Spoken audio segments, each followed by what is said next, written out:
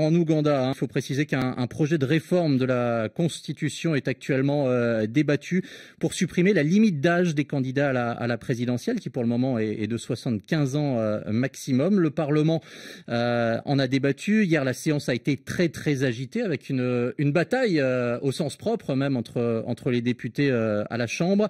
Il y a eu des manifestations également qui avaient été organisées, et cela, bien sûr, concerne la, la prochaine présidentielle en 2021. Le président Museveni, qui a 73 ans, il est au pouvoir depuis 86. Et euh, si cette limite est supprimée, il pourrait briguer un sixième euh, mandat. Alors, nous sommes en, ligne avec euh, Florence Brisset-Foucault. Bonjour, madame.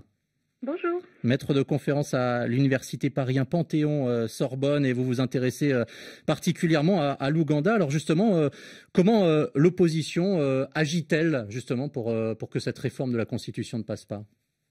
Alors, ils ont mis en place une, tactique qui leur est familière hein, depuis le retour du, multipartisme euh, en Ouganda en, 2005, qui est une tactique qui vise à, bloquer le, processus législatif, euh, euh, donc là, qui vise à, réformer la Constitution, comme vous l'avez expliqué, et donc qui repose sur, sur l'organisation de, de, de chahuts hein, et de, protestations au sein du Parlement, parce que on est face à un rapport de force qui est extrêmement déséquilibré hein, entre entre l'opposition et, le gouvernement euh, au sein de la Chambre hein, et qui s'est euh, des équilibres qui s'est accentué euh, depuis l'année dernière, depuis 2016, puisque les effectifs des partis d'opposition au sein du Parlement ont encore diminué par rapport au Parlement précédent.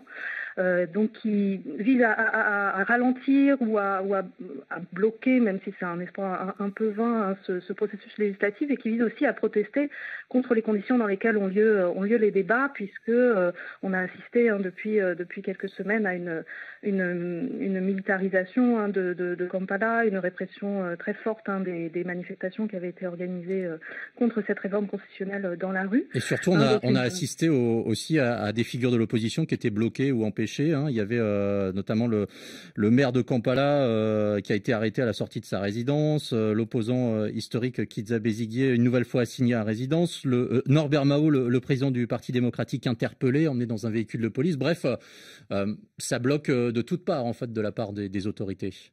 Oui, oui, tout à fait. Donc c'est euh, encore une fois à la fois pour essayer de ralentir hein, mm. ce, processus constitutionnel et puis pour protester contre cela. L'idée c'est euh, euh, d'essayer de, voilà, de, de, créer, euh, euh, de créer l'événement et d'interpeller euh, les électeurs, de, susciter une, une, médiatisation, une mobilisation populaire contre, contre cette réforme constitutionnelle.